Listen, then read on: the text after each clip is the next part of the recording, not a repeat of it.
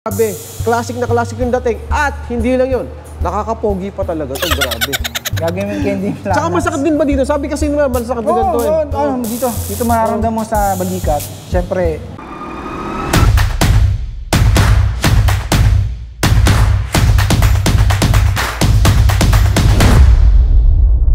Eh, nandito nga pala tayo mga kaibigan, mga kabong sa Bicol Yama Santa Rosa branch. Wow! Ayan. So yung branch na to ay papunta Enchanted Kingdom, galing kang Balibago. So madali rin siyang mahanap, napalaki ng branch na to. Wow! Kaya silipin natin.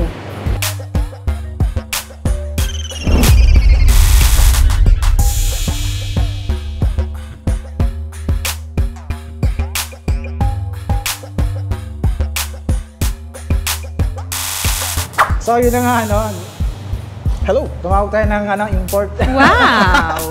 Import talaga, local, local, local, local import. Local import. Oh, local Reinforcement sa pag-vlog. Ano? Si Papa Henry nga pala. Ano?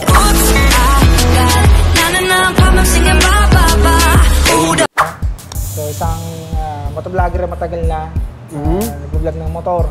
So yung mga ano mo, yung mga Papa Henry ng mga ride safety. No? Oo, yeah, syempre.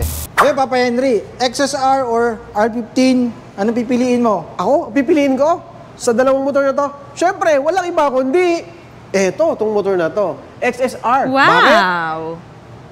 So ayan Papa Henry, na-explain natin. No? Ah, set aside natin yung presyuhan, syempre alam naman natin mas mahal.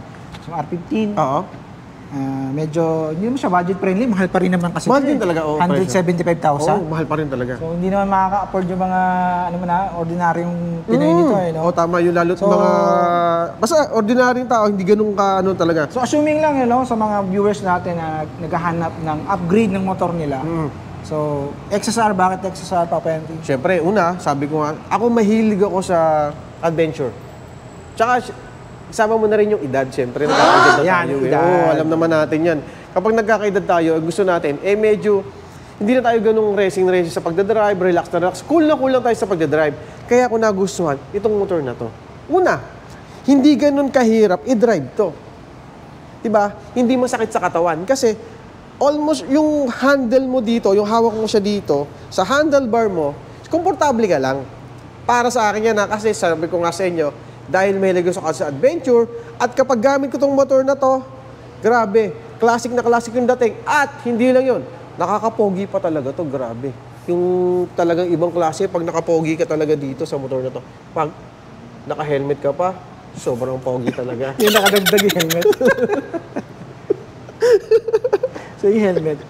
So, yun, oh, ulagi- ugaliin natin mag-helmet. Siyempre, Oo. safe tayo. Tapos, siyempre, pogi pa tayo. Naku, pogi pa tayo. Kasi pogi naman talaga yung buhay. Kasi wala kang helmet, pag nadisgrasya ka, malaking posibilidad na deads ka. Gets ka na, oh. Pogi ka nga, pero deads ka Oh, naman. pero sabi nga nila, eh, pag daw ikaw yung naka-helmet at nag-disgrasya ka, safe yung ulo mo. Kaya pagdating doon sa ano, malinis yung mukha mo. Ayun. Ay, ibang usapan yun. But anyway, you know, syempre, ride safe tayo. So, yun yung pinapromote natin sa ating mga vlog, you know. Oo. Iwa- Iwas kamote, no?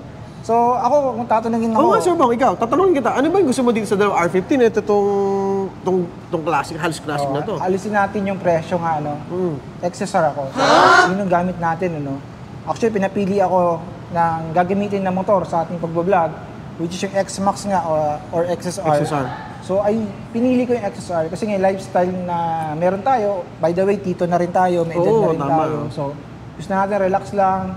Kung may nakakasabay tayo nagmamabili sa kalsada, since retro yung motor natin, Hmm. oh, di ba? Ang mentalidad ko noon, makikita rin tayo sa traffic light. Oo, tama. Ganun talaga yung pag nagkakaedad eh. Gusto mo talaga yung ano lang eh. No? Medyo relax ka na lang yung sa Oo, takbuhan. relax ka Parang na lang. sway-sway lang talaga. Sway-sway ka lang. Tsaka gusto mo takbong pogi lagi. Hmm. Pero kung siyempre kung bata-bata ka, siyempre R15. Kung ako bata-bata ako, R15 ang, ang ano kasi unang-una nakapag-drive na ako nito dati. No, siyempre talagang aggressive talaga yung ano niya, yung stance niya. Tapos siyempre Pwede mo alaman kung kailan ka nag-drive niyan? So, 10 years ago pa. okay, matagal na. Oh, rin dati na sa dati kong work ano, ah, naging branch manager kasi ako. So pag sa sales ka kasi, pag wala dito yung motor, kukunin mo sa ibang branch. Oo. So yung branch na yon, gali, ah, ano pa yun, 40 kilometers away sa origin branch. So pag dating namin sa branch namin, i-release na, talagang masakit. Kasi ba, Planax. dinerive mo yun? Oo. 40 kilometer papunta dito sa sa branch ninyo. Actually, matagal na yung R15 eh. Matagal na yung nilabas to. So, nakapag hand, first-hand experience talaga. Ang sakit sa ano, sa balakang. Planax. Mm, yung Planax talaga yung katapat nun. Parang candy. Gagawin yung candy yung Planax. Tsaka masakit din ba dito? Sabi kasi nila, masakit din Oo, ganito eh. oo, ano, dito. Dito mararamdaman mo sa balikat. Siyempre, naka ano ka eh, parang sa salitang kalye, nakatuwad ka. So yung yung talagang pressure na sa balikat, din dito sa may ano, sa may lower body mo, mararamdaman mo talaga. Wherein dito sa XSR, ano ka lang, chill ka lang, ano lang, wala kang, wala kang, ako, first thing ko ginamit ito, wala akong naramdaman na kahit ano man na nanibago. Kasi galing tayo sa sniper eh. Hmm. So yung sniper kasi, ano lang yun, di ba? Oo, Upright. Ito, medyo wide lang siya ng konti, pero relax lang siya. Pero syempre, hindi natin pwedeng i-discount yung yung features ng R15, di ba? Oo. Big bike features. Picture. Wow. Syempre, Grabe, talagang solid na solid talaga yung pictures ni R15M na Nandun yan. na lahat.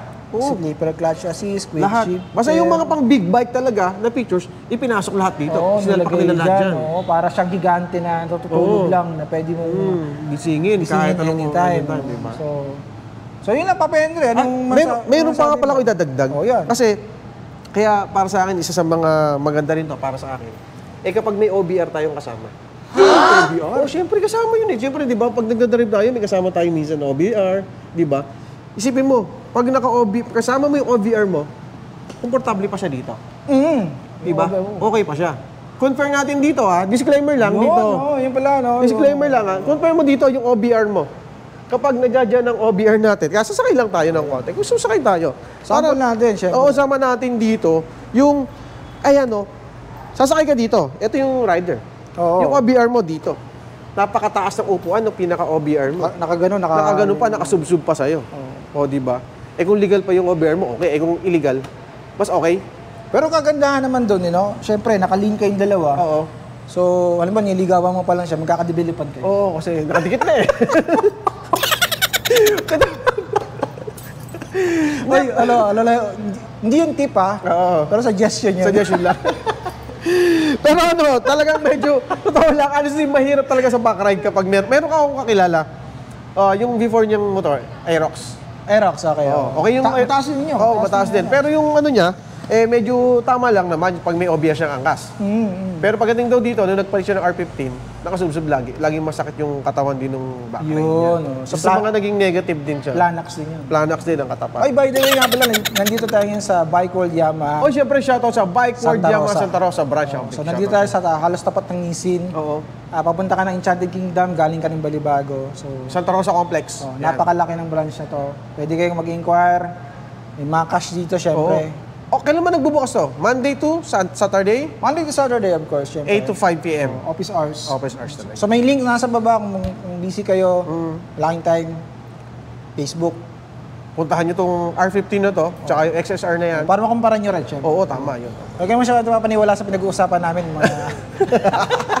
Hindi, anyway, mga ano to. Hand experience namin to bilang tagal na nagmamotor. So, we want to impart din sa mga vlog namin ni Papa Henry Oo.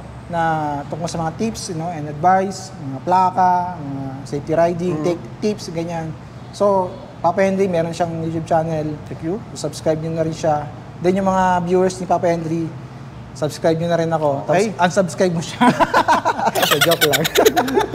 Road to ano na tayo? 28K na. Konti, malapit na lang, malapit na, malapit na tayo sa 28,000 subscribers. Wow. Siyempre, Papa Henry to, di ba? Mm, thank you. oo. 28,000. Tsaka ikaw, nakita ko na yung ano mo, yung banner mo. 9K subscriber Wow. na tayo. Malapit na, malapit. Malapit na. Oh. Konti na lang yun. 9,000. Oh, konti na lang. Subscriber, so, konti anyway, na lang. nag-umpisa pa lang naman tayo. So, sa mga makakapanood nito ngayon, silipin nyo yung channel ni Papa Henry. At syempre, ah, maraming salamat kay Sebong. Pag-iimbita sa akin dito, ma-feature dito sa ah, YouTube Comparison. channel mo o sa comparison na to. Okay? So, yun nga pala mga kaibigan, mga kabang ano, kung nagustuhan mo yung content for today, consider to subscribe and hit that notification bell para sa iba pang ipipictures natin na unit. At sabi ko nga, yung may katanungan kayo, comment nyo down below para masagot natin yung tungkol sa mga kailangan nyo malaman sa motorcycle industry and crediting collection. So that's it for now. See you on the next video.